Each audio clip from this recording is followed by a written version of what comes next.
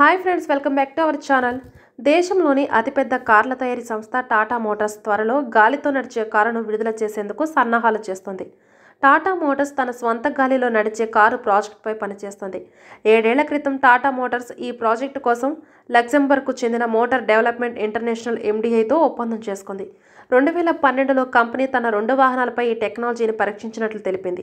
అయితే ఆ తర్వాత దాని గురించి ఎలాంటి సమాచారం ఇవ్వలేదు.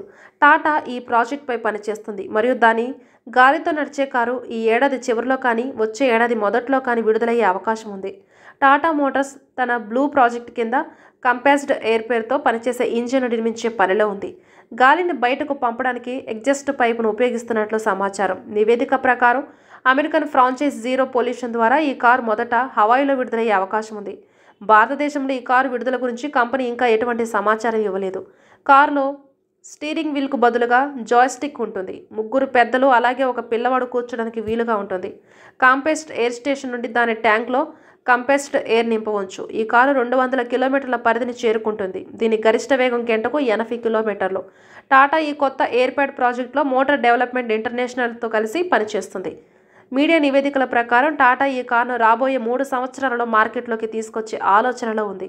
సంస్థ కేవలం డెబ్బై రూపాయల్లోనే రెండు వందల కిలోమీటర్ల దూరం ప్రయాణించగలగడం ఈ కారులోని అతిపెద్ద విశేషం.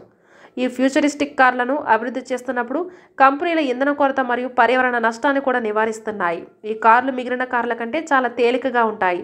వీటి బరువు తొమ్మిది వందల ఏడు కేజీల లోపు ఉంటుంది. అల్యూమినియం ఫ్రేమ్లతో తయారు చేయబడతాయి. ఈ కారు కేవలం డెబ్బై రూపాయలలో రెండు వందల కిలోమీటర్ల నడుస్తుంది. ఇది చాలా పొదుపుగా ఉంటుంది. కారు వేగం ధర మరియు ఇతర సమాచారంపై కంపెనీ ఎటువంటి అధికారిక ప్రకటన విడుదల చేయలేదు.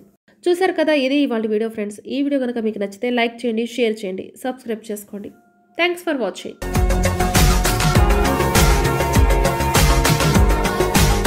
మరిన్ని అప్డేట్స్ కోసం మా ఛానల్ని సబ్స్క్రైబ్ చేయండి.